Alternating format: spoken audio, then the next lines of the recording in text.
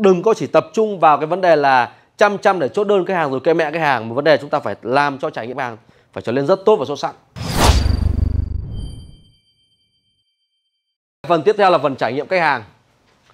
Họ nhận biết với mình qua đâu, cân nhắc vì điều gì, tại sao họ mua hàng, tại sao tàu với phần là chăm sóc sau bán như nào, rồi làm sao để biến cái hàng thành khách hàng fan. Nhận biết, cân nhắc, mua hàng, chăm sóc trở thành khách hàng fan.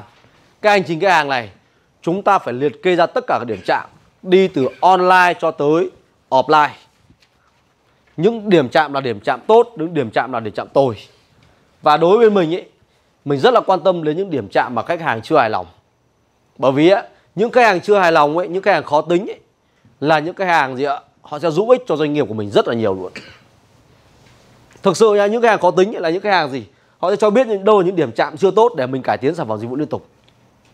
Lên bên mình ấy, cứ cái lần cứ thứ ba hàng tuần mình họp là mình hỏi cái bạn nào gọi là trưởng ban trải nghiệm uh, trưởng ban vận hành ấy. Em hãy liệt kê cho anh trong cái tuần vừa qua có bao nhiêu feedback khách hàng tồi. Đấy đâu là lỗi về mặt mặt mặt uh, mặt uh, lỗi lỗi mang tính là lỗi về mặt quy trình đâu là lỗi mang tính về mặt con người và đâu là lỗi mang tính hệ thống. Liệt kê cho anh ạ.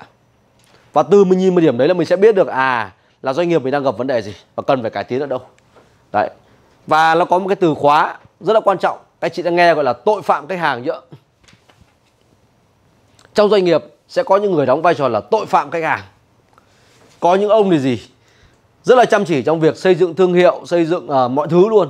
Nhưng có những ông là gì? Ví dụ là gì? Lơ là trong việc chăm sóc khách hàng.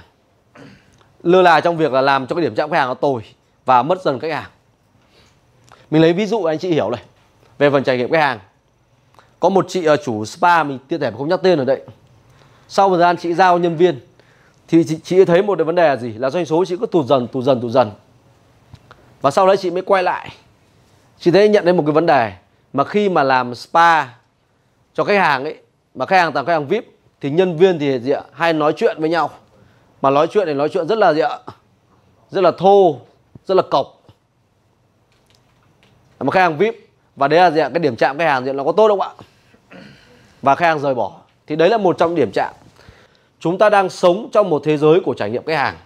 Nếu chúng ta không tập trung vào cái này, chắc chắn chúng ta sẽ thất bại. Đừng có chỉ tập trung vào cái vấn đề là chăm chăm để chốt đơn khách hàng rồi cây mẹ khách hàng Một vấn đề chúng ta phải làm cho trải nghiệm khách hàng phải trở nên rất tốt và xuất sắc. Và chúng ta cố, chúng ta không hoàn hảo nhưng chúng ta sẽ cải tiến liên tục được, phải đo lường. 89% khách hàng sẽ dừng sử dụng sản phẩm dịch vụ của doanh nghiệp. 54 khách hàng sẽ chuyển sang sử dụng thương hiệu đối thủ. 45% khách hàng sẽ phàn nàn trên mạng xã hội. Và 95% khách hàng sẽ chia sẻ trải nghiệm xấu của họ cho người khác ví dụ như mình mình là một người KOL chẳng hạn đúng không? Trên mạng xã hội follow rất là nhiều và mình và mình hay là một năm thì đào tạo khoảng mấy chục ngàn các lãnh đạo quản lý doanh nghiệp. Đấy, thì nhưng mình chỉ chia sẻ câu chuyện mình là câu chuyện thật hết. Anh nhìn này 95% khách hàng khuyên bạn bè người thân không sử dụng dịch vụ của doanh nghiệp 13% sẽ chia sẻ trải nghiệm của họ với hơn 20 người. Đấy, và sức mạnh của mạng xã hội là gì? 63% khách hàng sẽ đọc review trên mạng xã hội trước khi đưa ra quyết định 33% sẽ thay đổi quyết định mua hàng sau khi đọc những review không tốt và trung bình một review không tốt sẽ làm cho doanh nghiệp mất đi 30 khách hàng. Đấy. Đây là một điều mà chúng ta thấy là gì ạ? Chúng ta sống trong cái kỷ nguyên của trải nghiệm khách hàng. Lên nhiều điều khi ấy, chỉ cần một cục khủng hoảng truyền thông thôi là doanh nghiệp sẽ mất đi rất nhiều tiền. Cái này bên mình đã trải nghiệm rồi. Bên mình đã trải qua những cuộc khủng hoảng truyền thông liên quan đến về bản quyền này. Mình rất hiểu cái này. Đấy. Đấy. Thì đây là mình muốn chia sẻ với anh chị là cái trải nghiệm khách hàng là quan trọng như nào chúng ta phải ám ảnh bởi trải nghiệm khách hàng bởi vì chúng ta sống trong kỷ nguyên của trải nghiệm khách hàng